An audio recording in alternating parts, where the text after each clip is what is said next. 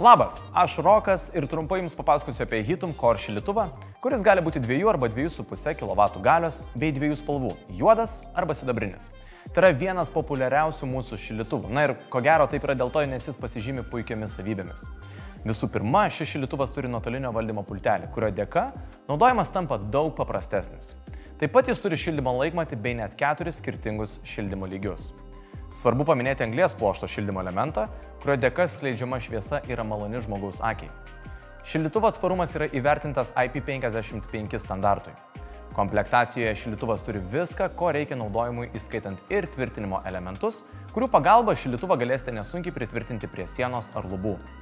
Tvirtinimo elementai ne tik užtikrina saugų šildytuvo tvirtinimą, tačiau ir suteikia galimybę šildytuvą nukreipti aukštyn arba žemyn priklausomai nuo jūsų norų ir poreikių. Jeigu nuspręsite šildytuvą statyti ant žemės, tuomet jums reikės įsigyti atskirai parduodamą stovą. Jį taip pat rasite mūsų parduotuvėje.